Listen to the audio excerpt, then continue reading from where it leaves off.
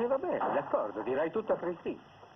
E a che cosa ti servirà? A farti del male. Mm, che animo generoso. È ingiusto che soffra solo io. Soffrire in due invece è meno noioso. E poi voglio vedere la faccia che farai quando Christine ti lascerà. Perché lei ti lascerà se io parlo. No, è un discorso che non fa una grinza. L'ami davvero, eh? E me non mi ami più. Oh, ma perché non cambiamo discorso?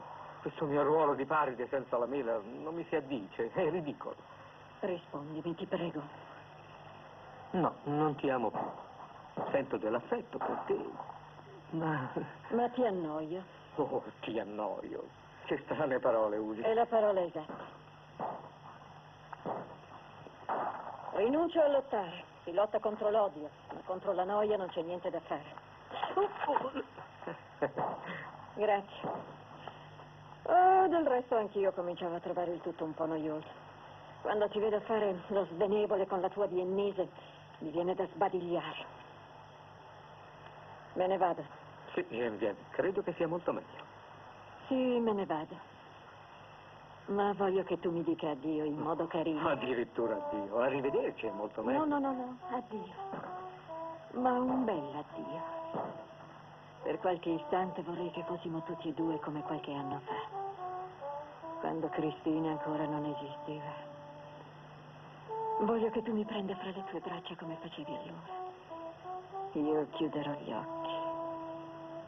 E per qualche istante potrò credere tutto quello che vorrò. Genevieve, non fare così. No, no, non parlare più. Baciami. Andiamo. Attenti a dove mettete i piedi, si può affondare. Oh, straordinario. Oh, un anatroccolo, si potrebbe raccontare alle piume.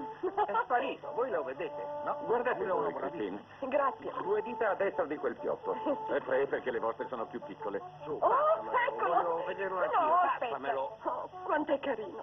Su, adesso tocca a Un me. momento. Ma vuoi tenerlo sempre tu? Ah,